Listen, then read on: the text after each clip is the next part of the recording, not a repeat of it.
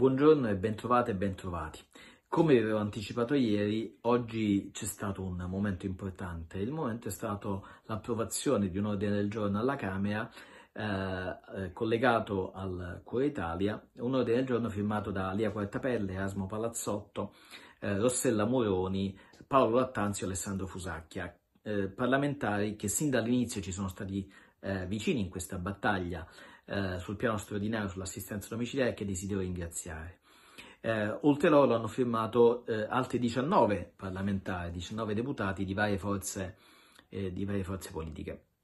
Cosa dice questo ordine del giorno? Impegna il governo ad adottare eh, fondamentalmente la nostra proposta, quella di un piano straordinario sulla, sull'assistenza domiciliare eh, nei modi e nelle forme che, che conoscete.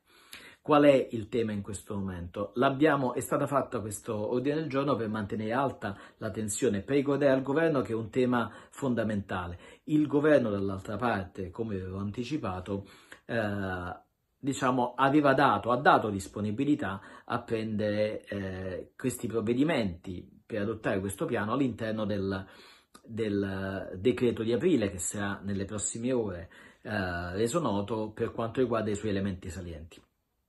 È molto importante perché sottolinea che stiamo continuando questa battaglia, è molto importante per ricordare che è un tema fondamentale, è molto importante per far capire che è eh, un tema ampiamente condiviso non solo da organizzazioni civiche e soggetti del mondo professionale, ma soprattutto dai malati che stanno attendendo, dalle persone che attendono di essere curate, eh, che stanno attendendo con ansia delle risposte su questo fronte.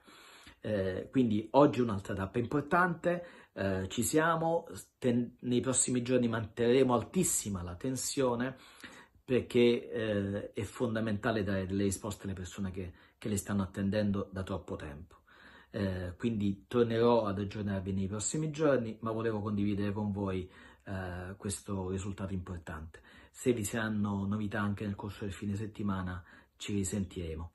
Grazie a tutti e a tutti per il sostegno e, e lavoriamo insieme in, in questi giorni per far sì che questa importante battaglia venga vinta. A prestissimo.